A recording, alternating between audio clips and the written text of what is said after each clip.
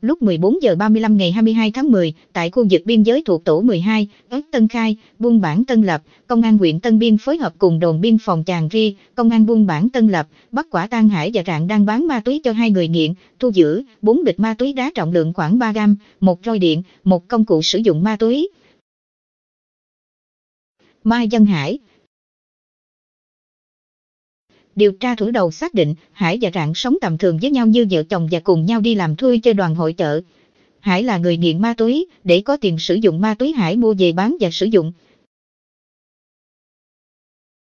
Hải và Rạng đến thành phố Tây Ninh mua ma túy với giá bút vài triệu đồng rồi mang về phân nhỏ tuổi lại bán lại cho những người nghiện trong đoàn hội chợ và những người nghiện sống ở khu vực đoàn đến biểu diễn. Khi người nghiện đến mua ma túy thì Hải bán còn Rạng chỉ hỗ trợ